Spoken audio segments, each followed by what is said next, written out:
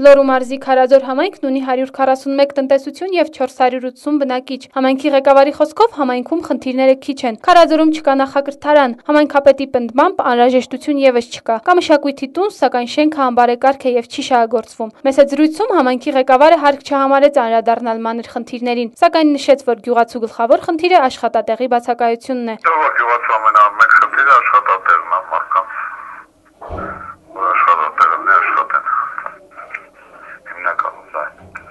Անիհարությունյան մոլորակ